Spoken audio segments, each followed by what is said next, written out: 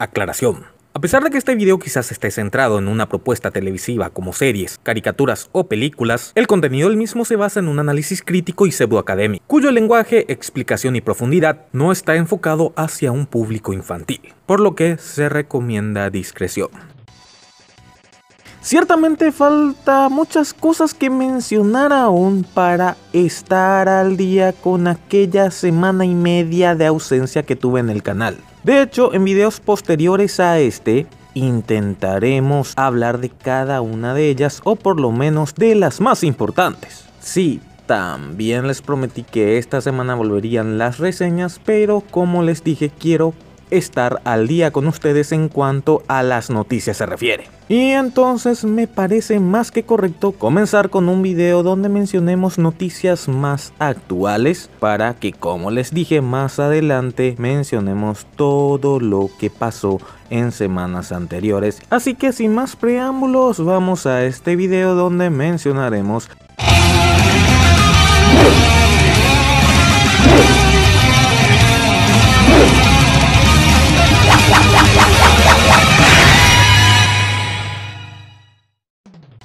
Comencemos con la noticia más importante de la semana, la confirmación del regreso de SAS, el cual era un canal de televisión de paga que comenzó sus transmisiones a mediados de los años 90 y finalizó en el 2012 en Latinoamérica.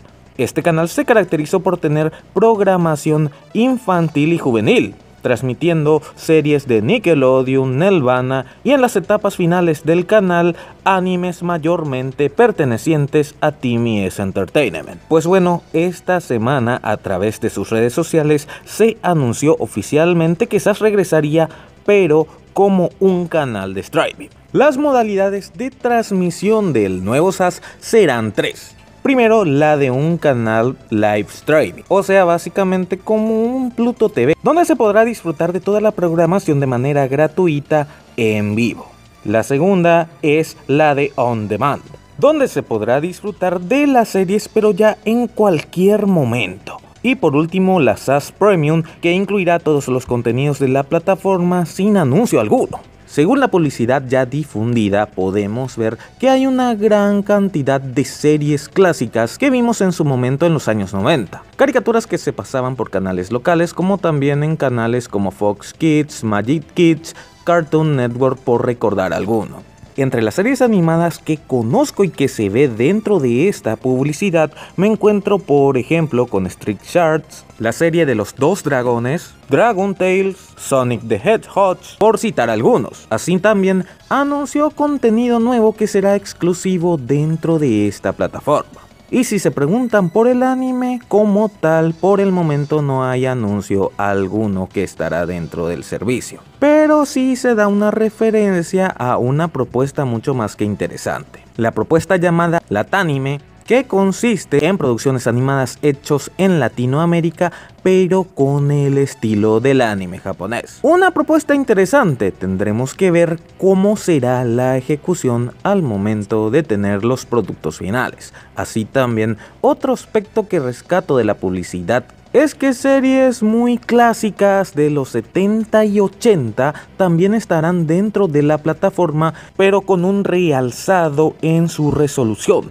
luciendo más estético para los estándares actuales en comparación a las resoluciones originales de su época. Más detalles sobre este emprendimiento del regreso de SAS en la descripción de este video. Y hablando de regresos, IG Studio de México regresa nuevamente para regresarnos a nuestras infancias, como ya lo hizo en el presente año 2020 en esta ocasión anunciando que traerán otra cinta de Digimon Gamers titulado La batalla de los aventureros. Esto de vuelta nuevamente con las voces originales que lo interpretaron en su momento de emisión por las pantallas de Fox Kids. O sea, tal cual como lo hicieron con la película del Expreso Fugitivo transmitido el 15 de mayo pasado. Que si aún no pudieron verla aún o quieren saber más con respecto a este tema, en estos momentos les saldrá una anotación ahí arriba para que sepan cómo estuvo la cosa. Cabe mencionar que como el anterior proyecto, este no es un doblaje oficial como tal, ya que es un proyecto de fans para fans. No obstante, por esa añoranza y el esfuerzo característico de IG Studios de traer a la amplia mayoría de las voces originales que participaron en Digimon 3 en los 2000, básicamente sí es un doblaje oficial para nosotros los fans. A través de sus redes sociales, IG Studios ya lanzó el primer clip de la película que llegará en el siguiente año 2021 por el momento como se hizo con el proyecto del expreso fugitivo o sea, o sea a través de una transmisión en Facebook. Dicho clip a cargo de IG Studios también lo van a encontrar en la descripción de este video. Ahora bien, ya retrocediendo un par de días atrás, nos trasladamos a la semana pasada, donde Artworks anunció novedades y movimientos en sus licencias para México y Latinoamérica. Ya que tal cual como se hizo con las películas de Attack on Titan, otros proyectos de Artworks llegaron a Total Play de México. Estos fueron las dos ovas de Magical Angel Crazy Mamie, cuyo anime se transmitió en las pantallas de Etcétera Televisión de Chile con doblaje al español latino. Estas dos ovas, El último adiós y El regreso de Amy, están disponibles en Total Play de México con la opción de verlo en su idioma original subtitulado y también obviamente con la opción del doblaje al español latino. Esto ya es posible desde el 11 de diciembre pasado. Mientras que otra grata noticia es que uno de los títulos más fuertes de Artworks también llegó a Total Play. Nos referimos a Fairy Tail, en esta ocasión con la película Dragon Cry. Esto también a partir del 11 de diciembre pasado, donde ya está disponible con audio original en japonés y subtítulos al español. Coincidentemente la licencia de Fairy Tail se mueve cuando se rumorea más fuerte el tema de su doblaje. Mm, da para pensar. Y por último, ya las tres películas recopilatorias de Attack on Titan que estaban disponibles solo en México con el servicio de Total Play ya está disponible para el resto de Latinoamérica de manera legal. Esto a través del servicio de stream Amazon Prime Video tenemos la posibilidad de verlo en japonés con subtítulos al español y obviamente con el doblaje latino que se realizó a cargo de Artworks. Muy movidito este fin de año para Artworks en México y también en Latinoamérica. Mientras que la semana pasada Netflix también se puso las pilas en cuanto a sus anuncios para este fin de año, dando eso que aquellos fans del anime y por sobre todo de este anime estaban esperando con muchas ansias. Nos referimos al doblaje latino de la tercera temporada de Nanatsu no Taisai. Recordemos que dicho anime estaba disponible en su idioma original con subtítulos y con el doblaje al español de España. No obstante, el doblaje latino se retrasó obviamente por las situaciones de pandemia que hemos estado viviendo, pero ya, por fin, a partir del 7 de diciembre pasado, Nanatsu no Taisai o los siete pecados capitales, la ira imperial de los dioses, ya cuenta con su doblaje al español latino, obviamente con el elenco original de México disponible en la plataforma de la N roja que no es Nintendo.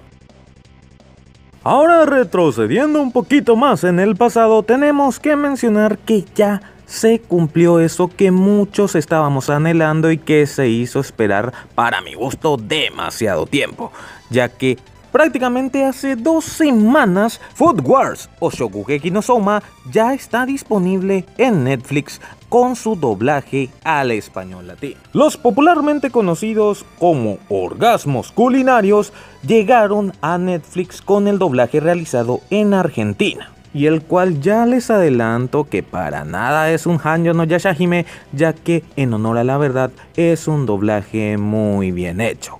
cueste a quien le cueste y guste a quien le guste. Si quieren saber mi impresión más analítica, por decirlo así, en un video específico, háganmelo saber en los comentarios. Por el momento, por si acaso aún no lo sabían, Netflix se puso las pilas para este fin de año y junto con el estreno del doblaje latino de la reciente temporada de Nanatsu no Taisai, los orgasmos culinarios también dijeron presente. Por otro lado, Funimation anunció nuevos animes para su catálogo en este mes de diciembre. Títulos como Our Lives Crusade or The Rise of New World by T. Grace of the Goods Season 1, Higurashi When T. Gray Go Five Force Season 2. Así también la serie clásica de Zillion, creo que así se pronuncia, Phantom Memory Kurau, Shonen Hollywood, Kakushigoto, y la franquicia de Seals at Work, temporada 2 y Cody Black. Todos estos en su idioma original con subtítulos al español. Obviamente sin olvidar la aclamadísima Attack on Titan Final Season, el cual en principio todos creíamos que iba a estar disponible ya con su doblaje al español latino, o sea, un simul dub pero ese anuncio fue hecho por un error del community manager de Funimation, ya que lo que en realidad tendremos a partir de este 30 de diciembre es la temporada 2 con el doblaje latino correspondiente. Y obviamente la arena no se hizo venir en las redes sociales ya que cómo van a doblar la temporada final sin tener el resto de las temporadas, ¿no? Pero en fin, ya quedó bien claro que el doblaje latino solo lo tendremos para la segunda temporada, mientras que la final season estará disponible con subtítulos. Por lo que de esta manera, a pesar de las críticas hacia su servicio y también obviamente por sobre todo al doblaje de My Hero Academia, Funimation sigue trayendo más títulos a su servicio en México y Brasil respectivamente. Mientras que por el lado de Funimation también hay novedades, ya que el episodio 1 de tanto Doctor Stone como Jujutsu Kaisen están disponibles de manera gratuita en su canal oficial de YouTube, ambos doblados al español latino en México. Pero tienen que apurarse, ¿eh? ya que estará disponible solo como exhibición de manera limitada. Recordemos que los episodios doblados al español latino tanto de Doctor Stone como Jujutsu Kaisen y otros animes exclusivos de Crunchyroll lo encontrarán directamente en su plataforma.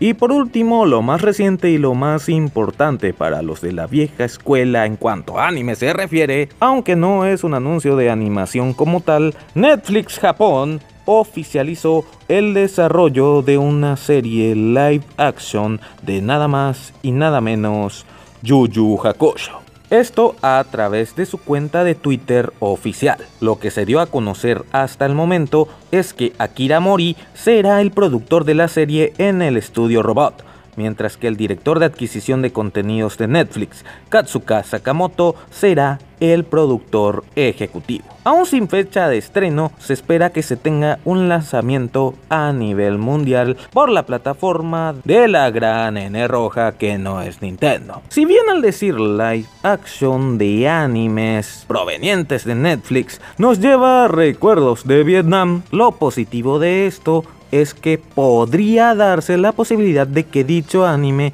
esté disponible a futuro en esta plataforma. Tal cual como pasó por ejemplo con Saint Seiya cuando se produjo esa cosa que ni siquiera la vi todo. Como también con el caso de One Piece que se anunció su live action y luego las series correspondientes de estas, en el caso de Saint Seiya la serie clásica y en el caso de One Piece la serie con redoblaje latino sin censura, llegaron a la plataforma de Netflix. Por lo que quién sabe y por qué no con este anuncio para el año que viene tengamos el anime clásico de Yu Yu Hakusho en la misma plataforma, lo cual sería fenomenal porque Yu Yu Hakusho es uno de los mejores shounen que tuve la oportunidad de ver. Y por el momento dejaremos las noticias hasta acá. En videos posteriores hablaremos de todo lo que trajo Pluto TV, también de algo en cuanto a televisión y anuncios de animes y nuevas temporadas provenientes directamente del Japón. Y de esta manera vamos cerrando el video del día de hoy. Muchas gracias a todos por verlo y si ya llegaron hasta este punto por favor no se olviden de darle pulgar arriba y compartirlo para que más gente lo vea. Ya sabes que si quieres más videos así y también apoyar a este humilde canal, lo único que tienes que hacer es suscribirte y si ya estás suscrito, activa la campanilla de notificaciones para que YouTube te avise cuando haya nuevo video. Así también, te invito cordialmente a seguirnos en nuestras redes sociales. Instagram y Facebook, donde podemos estar en contacto y a la vez podrás ver contenido exclusivo para esas plataformas. Los enlaces directos a estos lo encontrarás en la descripción. Y como siempre, me despido invitándote a darle un vistazo a videos anteriores que quizás sean de tu agrado. Me llamo Raven y nos vemos en la próxima.